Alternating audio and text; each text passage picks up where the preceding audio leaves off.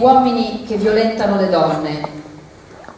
Penso che chi ha un complesso di inferiorità usi l'unico modo che conosce per sentirsi padrone. Mi vergogno per i violentatori. Penso che i violentatori non sappiano amare, non amare la violentata, ma amare e basta. Penso che i violentatori non sappiano cosa sia la sessualità. Rabbia, repulsione, odio. Li considero degli esseri piuttosto patetici e animaleschi. Disgusto, schifo, le stesse emozioni che danno una bomba al mercato di Baghdad e l'ennesima legge truffa di questo o di quel politico. Incredulità, ma anche una più forte consapevolezza del mio rispetto per le donne. Provo compassione per l'uomo che ha un evidente bisogno d'amore e nessuna consapevolezza di ciò, e per la donna perché è vittima di un'aggressione che le cambierà la vita. Ogni stupratore dovrebbe avere un pratico spazio in piazzale Loreto. La corda in omaggio. Pena per un uomo che si riduce a comportarsi in questo modo. Grandissima rabbia per la donna che subisce la violenza. Dolore, più di quanto ne provino certe femministe che intendono sfruttare politicamente ogni episodio. Una grande tristezza.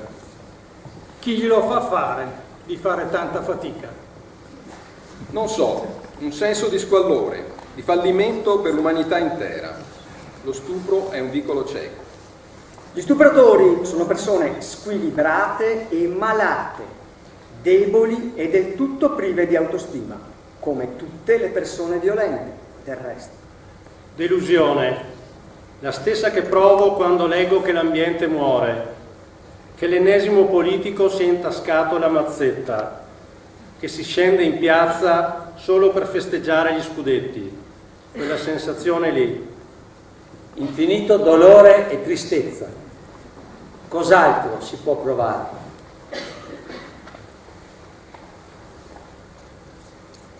Mi, mi vergogno di appartenere al genere maschile. Mi vergogno di appartenere al genere maschile. Mi vergogno di appartenere al genere maschile. Mi vergogno di appartenere al genere maschile. Mi vergogno di appartenere al genere maschile. Anch'io mi vergogno di appartenere al genere maschile.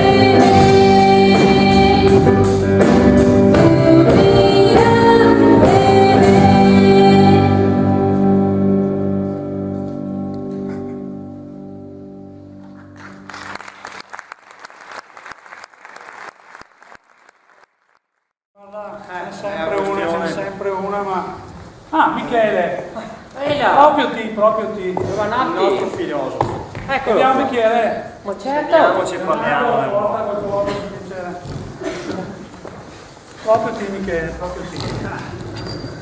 Sentiamo. Ma parlavamo qua con Andrea, Michele, questo discorso della virilità. Tutta la strada, qua il campanile, qua, parlare di virilità. Ma cos'è secondo te, Michele, la virilità? Verità. Non ho idea. Non ho proprio idea. Intanto, Lemoncin. Ma proprio vinto. Credo che per il maschio medio italiano sia più o meno fare a gara con un altro maschio per vedere chi ce l'ha più lungo. Ma no, Michele, no, Michele, essere maschio, essere maschile, essere virile, non depilarsi, non essere ossessionato dai capelli, da tutte quelle menate delle donne, dai. Eh, davvero. Non che ho visto. Eh, parla. Eh, no, io dico, è davvero una bella questione. Anche perché gli uomini alla fine non usano questa parola. Non so neanche bene cosa dovrebbe significare. Essere uomini, essere bravi a letto, essere maschi alfa. Boh. Virile, in fin dei conti, è una parola presa di peso da un romanzo rosa di qualche anno fa.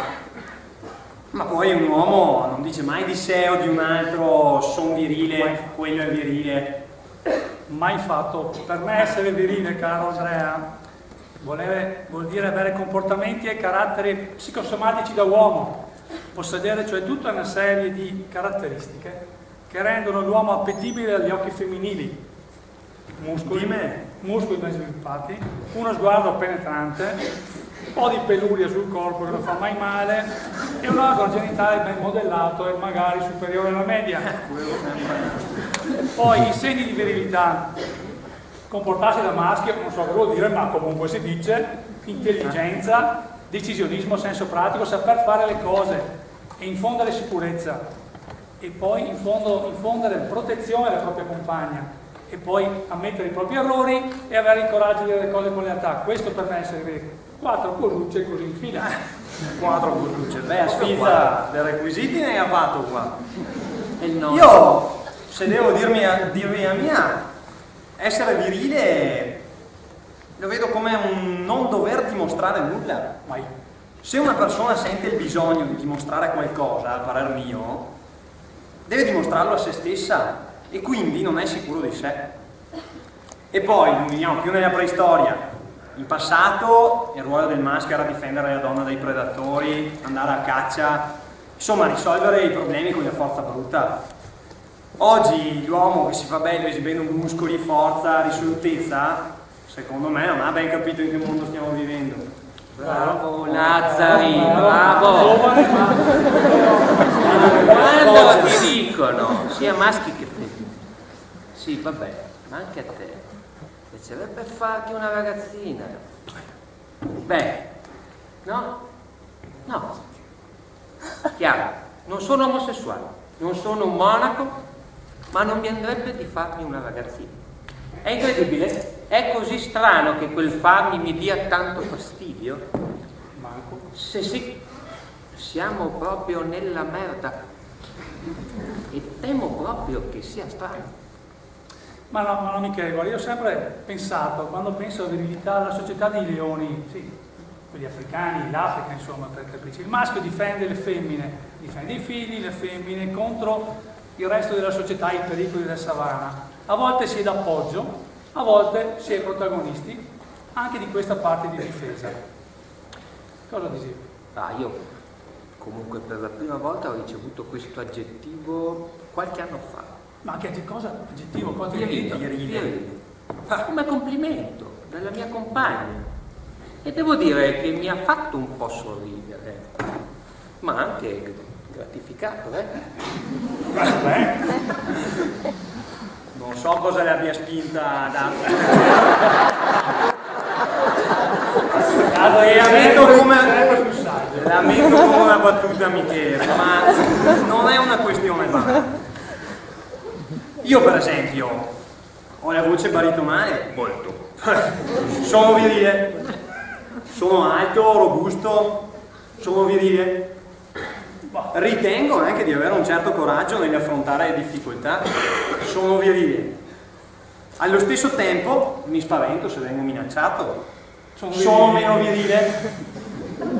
Alla fine, secondo me, accontentiamoci del senso comune che attribuisce questo aggettivo a quasi tutto quello che attiene il mondo maschile e amen. No, no, no, no, non va bene, non va bene ragazzi, non va bene. Essere virili significa essere un leader, un leader nel rapporto, fare godere la propria donna e soddisfarla nei propri desideri.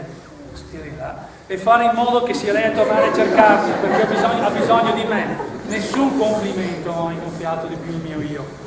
Quando con un'espressione pronunciata dalla mia ex ragazza, ragazza mi ha detto quando sono con te non ho paura di niente, sono sicura, nessuno mi farà del male. Ecco, far sentire la donna che hai insieme, che, che hai una forza, che sei capace, questo è essere virili.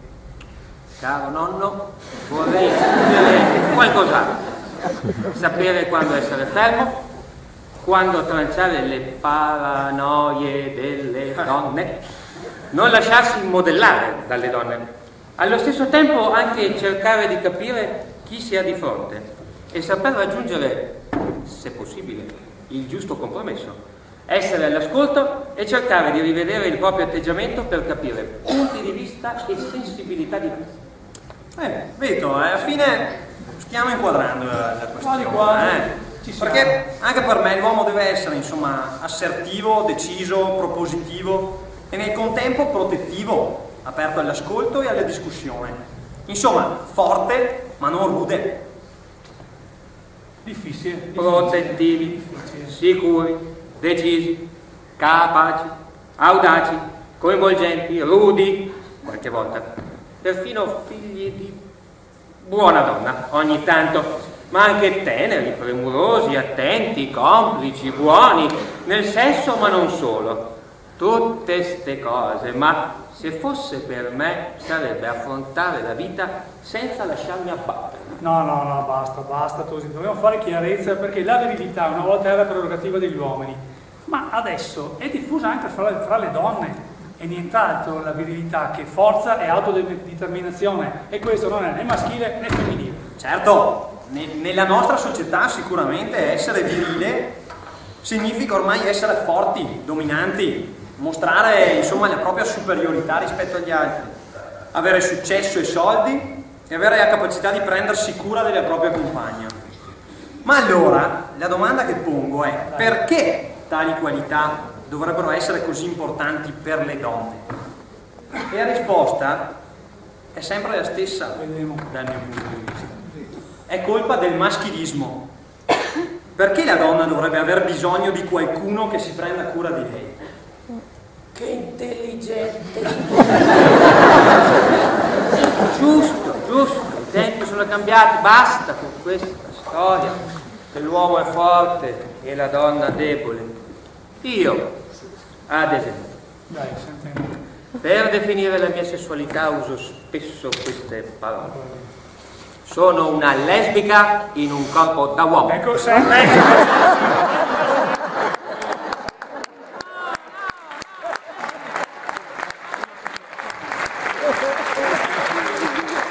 Nel senso, nel senso che non posso, non voglio nascondere il lato femminile del mio carattere.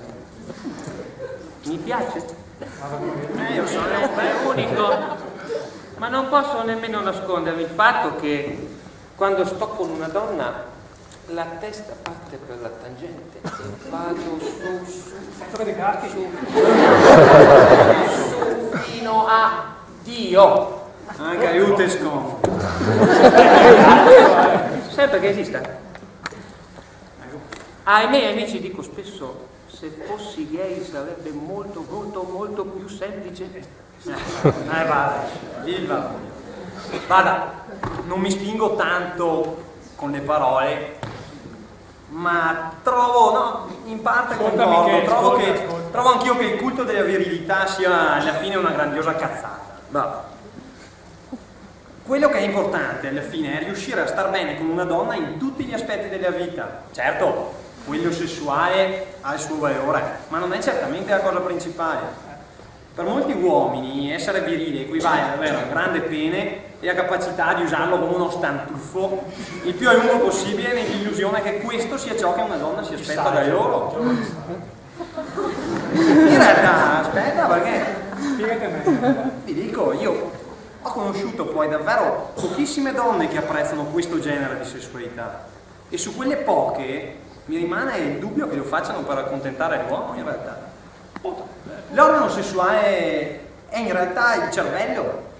Gli organi comunemente usati per tali attività sono solamente periferiche. Eh, basta tu, io sono stufo. Non da nessuna parte. Insomma, in conclusione, essere virile vuol dire essere uomo con la U maiuscola, essere maschi e soltanto per vanità senza merito. Per cui buonasera a tutti.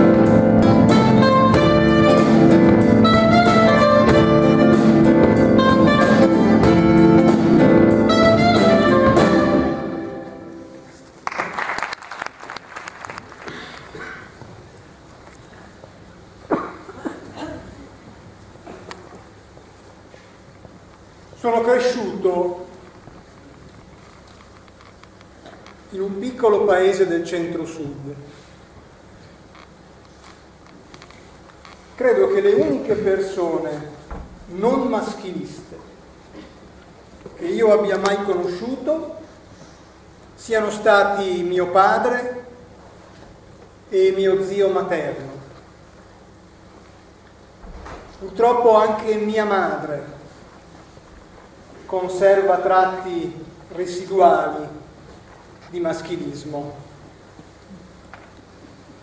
In un contesto come quello del paesino di provincia si è immersi in una moltitudine di persone che possono fare da cattivo esempio.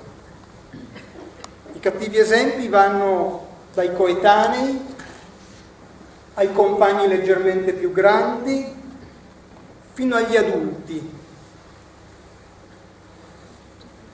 che raccontavano le avventure dei loro tempi, espressione che odio.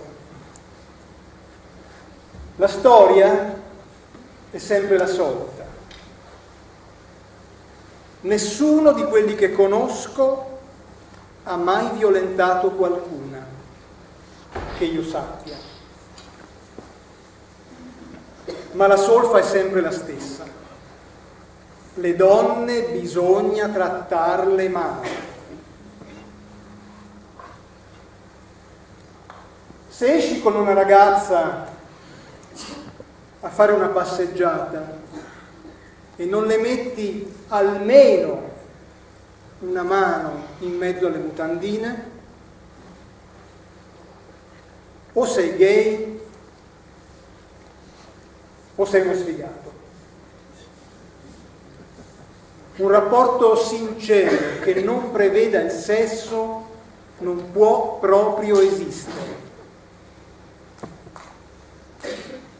Se vai fuori con una ragazza e lei non vuole fare nulla con te, la devi mandare a quel paese.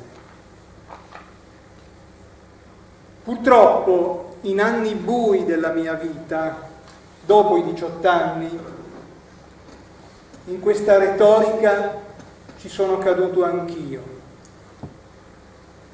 Intendiamoci, non ci ho mai messo nulla di volontario, ma purtroppo, allo stato delle cose, quello era il mio sentire. In quel periodo avevo circa tre o quattro relazioni l'anno. Non mi sono mai fidanzato con nessuna, ma questo lo mettevo in chiaro fin dall'inizio. Però, alla fine dell'anno, quel piacere narcisista di fare i conti su quante femmine mi ero ripassato, lo assecondavo. Ero considerato un figo nella mia cerchia, perché quando il maschio cucca parecchio è un macio latino.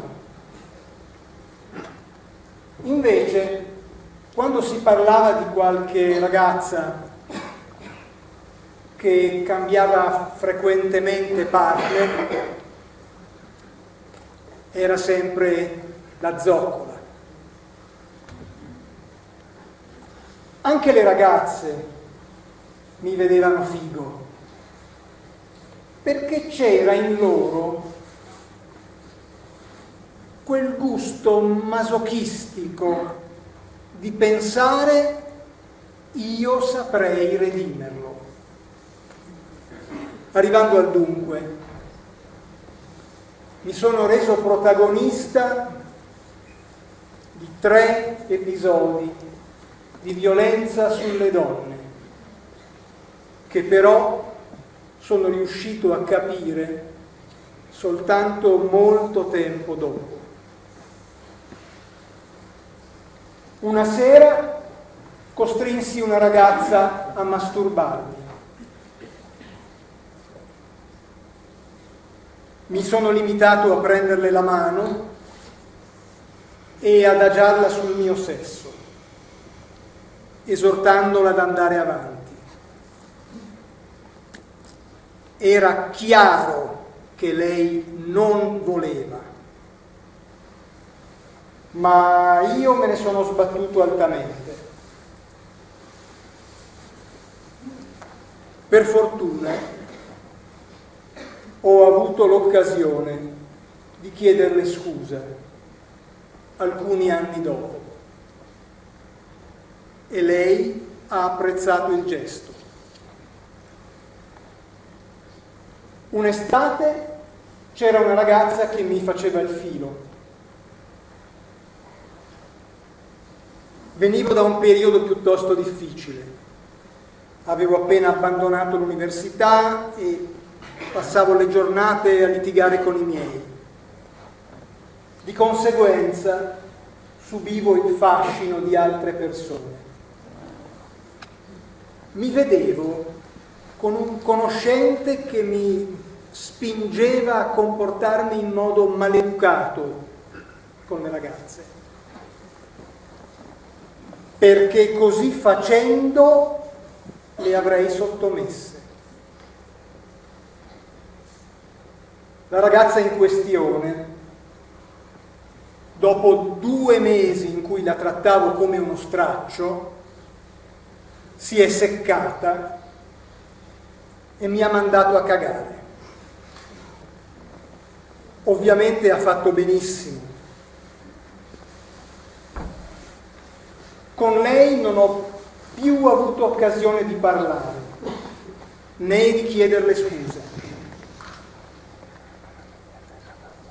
E provo ancora un grande rimorso a 11 anni di distanza.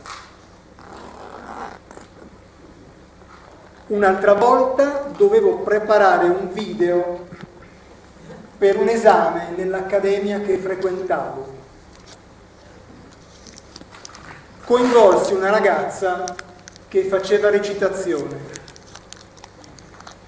Le chiesi di spogliarsi davanti alla telecamera. Lei lo fece. All'improvviso ho avuto un impeto di desiderio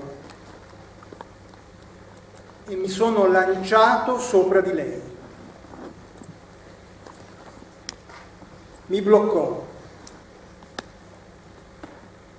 Fu persino educata.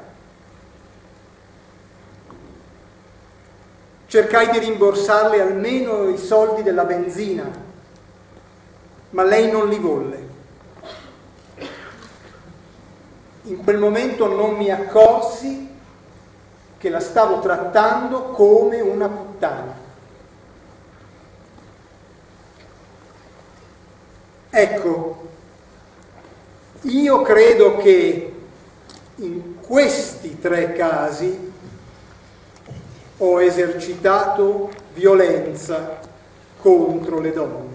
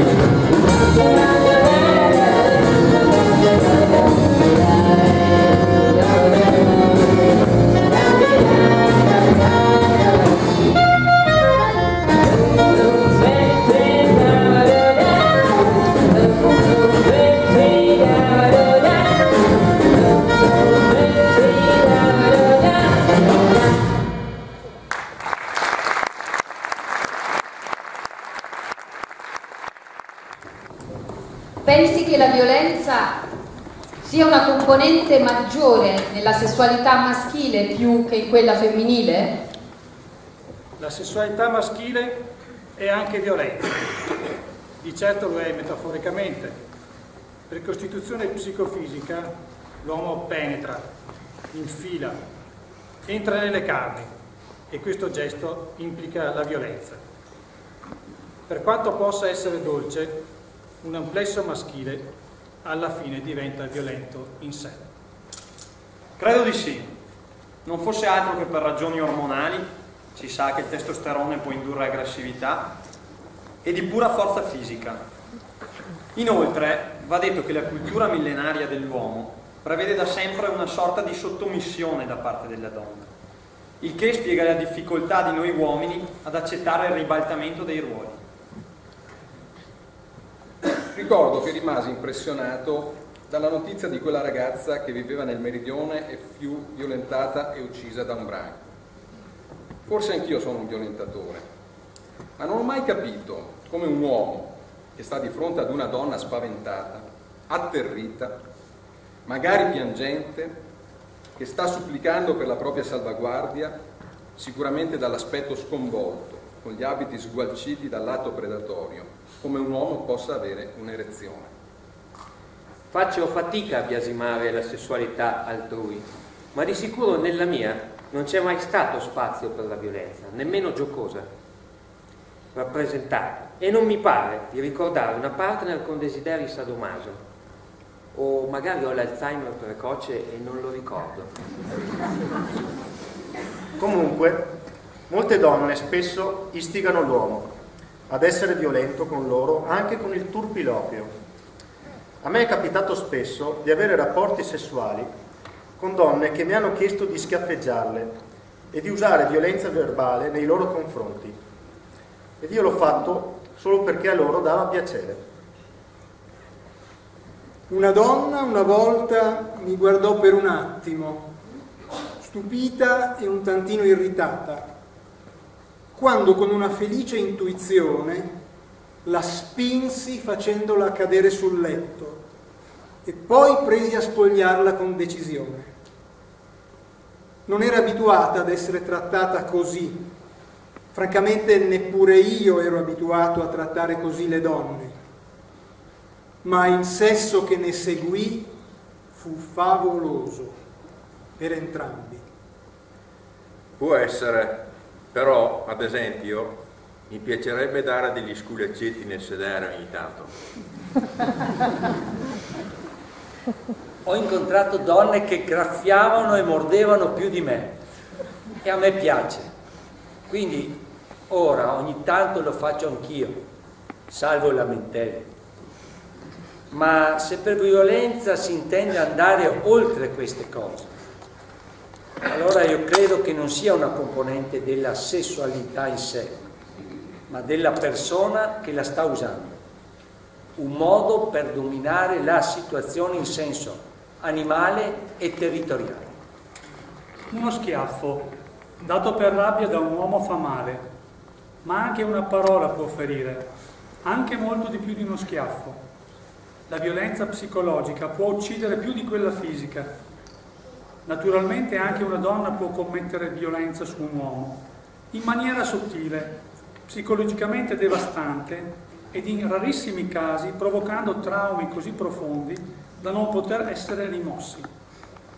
Ma nel mio immaginario di uomo la violenza su una donna sono lividi, pugni, gambe aperte con la forza e un godere osceno che mi fa ribrezzo e azzera qualunque minima eccitazione. Vi è la paura atavica che quel mostro potrebbe annidarsi anche dentro di me e trovare il modo per liberarsi un giorno o l'altro. Penso che molte donne non si rendano conto della violenza che possono esercitare sui maschi con il loro vestiario, con i loro atteggiamenti e discorsi provocanti. Tutte le donne, non in riferimento a quelle violentate. Donne, con la provocazione non è corretto giocare in pubblico, riservatela ai vostri partner in camera da letto. Che domanda? Certo, ma parlerei di aggressività. L'aggressività di cui la violenza attuata è solo la forma estrema è una componente innata di noi maschi, come peraltro l'istinto gregario e gerarchico, la nostra capacità di creare gerarchie instant ad hoc per qualsiasi situazione. Questa è una cosa che le donne non riescono ad immaginare. Quando un maschio nuovo entra in una banda, in pochi istanti tutti capiscono come deve riconfigurarsi naturalmente la costellazione di potere. E l'aggressività la si vede in ogni cosa maschio diretta. Per esempio il team di marketing. Penetrare il mercato, fargli ingoiare un accordo, spaccare il culo alla concorrenza, la killer app. come se fossimo tutti dei Marines. Break the things, kill people. Un errore tipico fatto dalle femministe, secondo me, è proiettare nell'ambito sessuale battaglie che dovrebbero riguardare solo l'ambito della convivenza sociale. Se mi piace avere un ruolo dominante nel sesso, se amo sottomettere la mia donna in ambito sessuale, questo non significa per niente che io sia uno che sottomette la donna nella vita di tutti i giorni. Il sesso si svolge in una dimensione altra, come il gioco. Se mi piace giocare con i soldatini, devo quindi concludere che sono un guerrafondaio. Io sono un grande videogiocatore e passo una buona parte del mio tempo libero ammazzando creature digitali. Devo per questo concludere che sono un violento? Sì, credo che la violenza sia una componente più della sessualità maschile che di quella femminile. E la motivazione sta nel modo in cui è sempre stata considerata la donna, dalla notte dei tempi fino ai giorni nostri, ovvero un essere inferiore da comandare, da sottomettere e sulla quale sfogare le ansie, le preoccupazioni e le perversioni degli uomini. Per fortuna questo comportamento riguarda sempre meno uomini, ma i fatti di cronaca dimostrano che ci sono ancora molti individui malati. Cosa vuole che pensi? Sono stato insegnante di una ragazzina violentata a 14 anni da un amico del padre. Aveva e ha tuttora a 23 anni forti sofferenze psichiche. Sono stato fidanzato tanti anni fa di una ragazzina abusata dal padre quando aveva sette anni. Aveva e ha tuttora, che di anni ne ha 47, forti sofferenze psichiche. Mia moglie ed io abbiamo ospitato in casa per due anni, di nascosto, una signora violentata dal cognato che la perseguitava.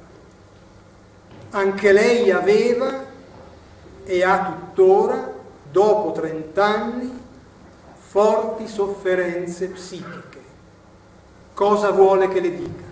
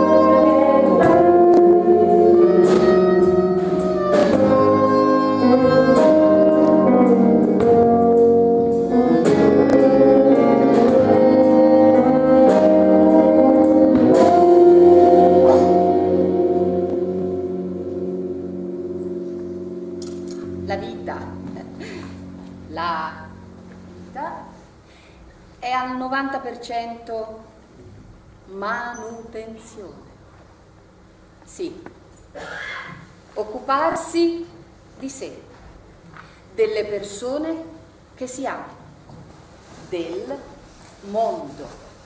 La politica, fare politica per le donne che hanno scelto di dirsi femministe è stato anche questo, manutenzione. Perché prima, durante e dopo la rivoluzione è necessario rassettare per creare agio, spazio e benessere. E così, nella manutenzione, c'è anche l'ascolto. Perché le parole, quelle sussurrate, come quelle urlate, non valgono niente se dall'altra parte non c'è chi le raccoglie e dà loro senso. Per fermare la violenza occorre prima di tutto riconoscerla e ancora prima, forse, alzare lo sguardo e ravvisare in chi abbiamo davanti la reciproca umanità, chiedendo a degli uomini sconosciuti di fermarsi per poco o per molto a ragionare su di sé, qualcosa è successo. È nato un libro e, soprattutto, è nata una pièce teatrale. Siamo qui. La manutenzione continua.